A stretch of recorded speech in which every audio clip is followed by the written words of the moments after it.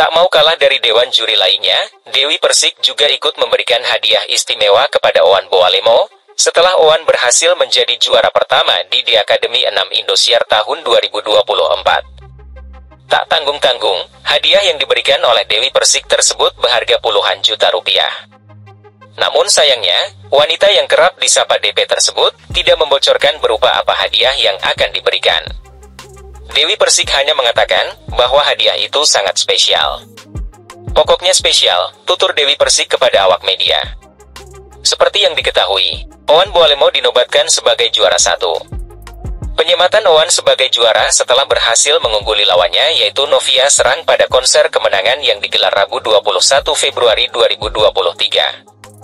Owan berhasil mendapatkan perolehan polling SMS dan votevideo.com sebesar 53,27 persen, sementara Novia mendapatkan 46,72 persen. Dengan demikian, Owan dinobatkan sebagai juara di Akademi 6 Indosiar. Sebagai juara, Owan mendapatkan hadiah uang tunai sebesar Rp 300 juta dan lagu kemenangan yang akan menjadi single pertamanya.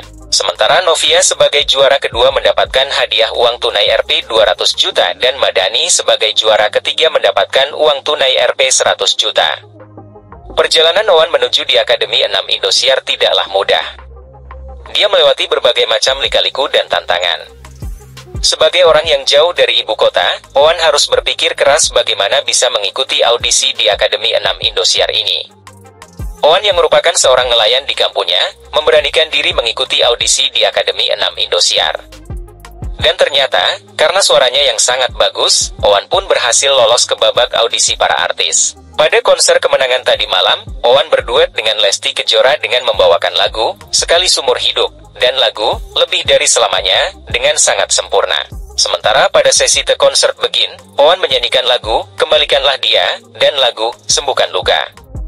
Penampilan Owan berhasil membuat para juri terpukau hingga memberikannya standing ovation. So, para juri mengatakan bahwa Owan sudah menjadi bintang dangdut.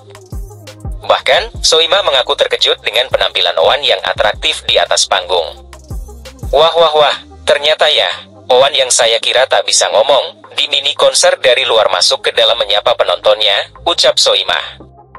Elvi Sukaisi menilai, Owan bernyanyi dengan artikulasi yang sangat jelas. Saya lihat artikulasinya jelas banget. Notasinya duduk banget, kata Elvi Sukaisi. Sementara Denada menilai, Owan merupakan penyanyi yang jika 10 nada, maka semua nadanya tepat banget. Kontrol nadanya begitu bagus, ungkap Denada. Hetikus Endang juga sependapat dengan para juri. Menurut Heti, kontrol not Owan sudah sangat bagus ditambah artikulasi dalam bernyanyi yang jelas. Untuk selanjutnya, Owan akan menjadi bagian keluarga Indosiar dengan menandatangani berbagai kontrak untuk program-program yang ditayangkan oleh Indosiar.